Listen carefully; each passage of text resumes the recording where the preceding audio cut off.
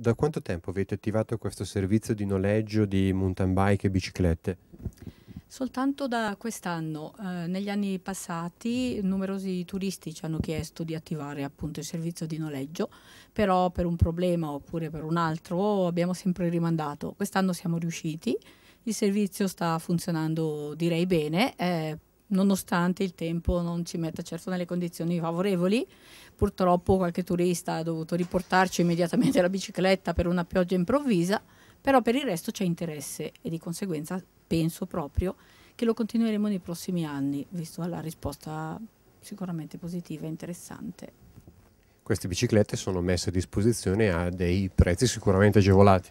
Secondo noi sì, sono dei prezzi accessibili e inoltre ai possessori della welcome card di Rovetta noi eh, offriamo l'opportunità di noleggiare prezzo, a prezzi ancora più bassi.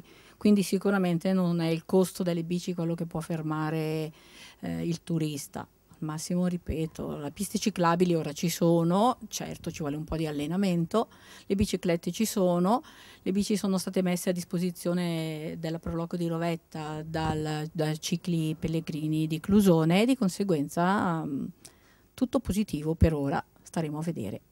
Anche altre Proloco hanno attivato lo stesso servizio? Sicuramente anche la Proloco di Clusone, eh, sempre... Eh, grazie alla collaborazione di Cicli Pellegrini e, e, anche per questo probabilmente si sta ora diffondendo perché la cosa è fattibile, il servizio è semplice direi, tutto sommato iniziative di questo genere sono sicuramente positive e non, non richiedono nemmeno troppo, eh, troppa fatica dal punto di vista organizzativo. Si può ad esempio prendere una bici a Clusone e lasciarla a Rovetta o viceversa? Questo era l'obiettivo nostro.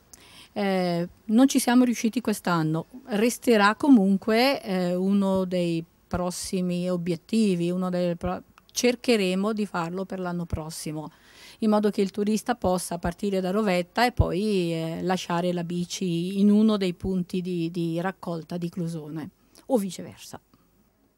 Ecco lei da dove viene? Da Lodi. E ha affittato una bicicletta qui presso la Proloco di Rovetta? Ne abbiamo affittate due, una alla Proloco di Rovette e una alla Proloco di Clusone, per averne due, per averne due col seggiolino.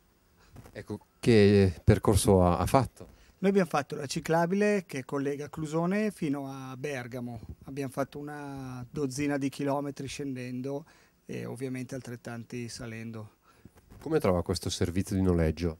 Lo trovo molto bello, con dei costi accettabilissimi e entrambe le Proloco sono state molto gentili nei nostri confronti.